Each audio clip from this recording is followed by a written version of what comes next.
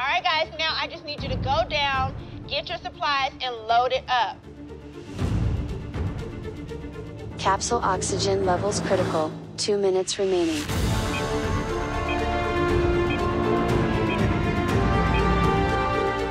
Perfect. Load it up.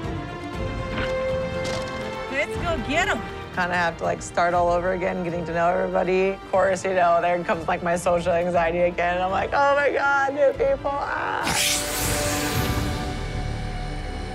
Who is it? Who is it? Let's see.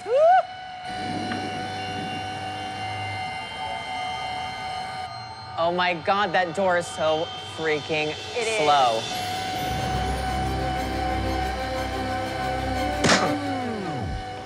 What I'm hoping is that I meet some like-minded individuals who are down for a wild experiment. Hey guys, you all right? I found us. Come on out. Oh man. Watch your head. Watch your head. Oh man. Hey, Watch it. How's it going? I'm All Lance. good. Last Paul. I see you. Celebronaut 1 rescued. Paul Pierce, NBA legend. I'm definitely excited for new people to talk to. I'm hoping that they're cool and they add to the good vibes. Hi, Lance. Lance, Andy Hi, Richter, how how are are you? you? Good Good to to see see ya. you. Celebronaut 2 rescued. Andy Richter, comedian. He was Conan O'Brien's assistant. What up? Oh, hey. Ashley. Hey. Nice to Ashley. meet you. Nice to meet you. Celebronaut 3 rescued. Ashley Iaconetti, Bachelor Royalty. Wanda. Hey, Ashley.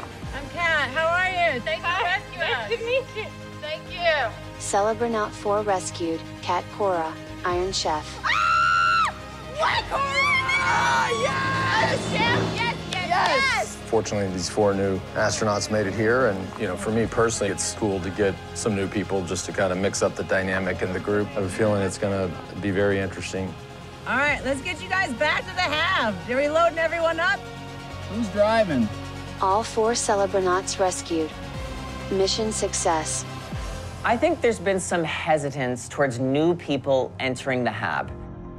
I feel like we're really gonna hit it off, and I hope that we do, or we're gonna be in some serious